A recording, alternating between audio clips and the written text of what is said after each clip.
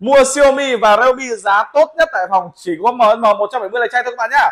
Hôm nay mình sẽ báo giá của tháng 9 để các bạn tham khảo nào. Xiaomi 13 giá từ 11 triệu 750 Xiaomi Redmi K60 Ultra giá chỉ từ 9 triệu 250 Redmi K60 Pro giá chỉ từ 9 triệu 350 K60 thì giá chỉ từ 6 triệu 950 Redmi Note 12 Turbo giá chỉ trừ từ 5 triệu 450 Redmi Note 12T Pro giá lại chỉ từ 4 triệu 950 thôi các bạn nhá. Còn Realme thì bên mình đang có sẵn hàng.